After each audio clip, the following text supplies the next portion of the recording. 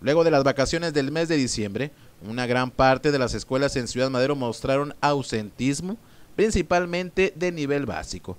Así lo informó la jefa del Centro Regional de Desarrollo Educativo en la urbe petrolera, Irma Estela Segovia González, quien dijo que fue un 40% de ausentismo, manifestando que las causas fueron las bajas temperaturas y la confusión de los padres, ya que en otros estados entran hasta el 7 de enero. En primaria tenemos muy baja la asistencia, tenemos un 68% más o menos. Eh, secundaria sí fue más este, la, la asistencia, fueron 98%. Eh, me imagino yo también que es por la cuestión de, del compromiso que tienen los, los mismos padres, por el, nivel que ya es un poquito más exigente, eh, la secundaria.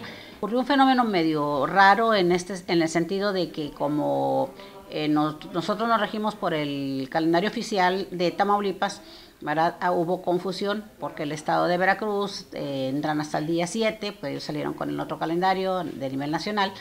Entonces algunos este, todavía por ahí andaban un poco despistados, los padres de familia, ¿verdad? Todavía anoche a mí también me escribían para preguntarme si entraban o no entraban.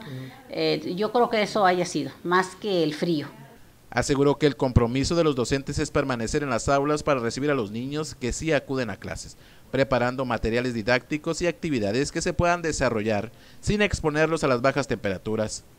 Este, en cuestión de los maestros, ahí sí tenemos un 98% de asistencia, porque obviamente pues ahorita ya es la temporada en que los maestros, algunos ya se fueron jubilados, entonces estamos en ese proceso, pero son es muy poco la, Puntualizó que en este periodo vacacional no se reportó ningún robo o atraco en los planteles educativos. Dijo que la buena coordinación de los padres de familia provocó que se mantuvieran en saldo blanco.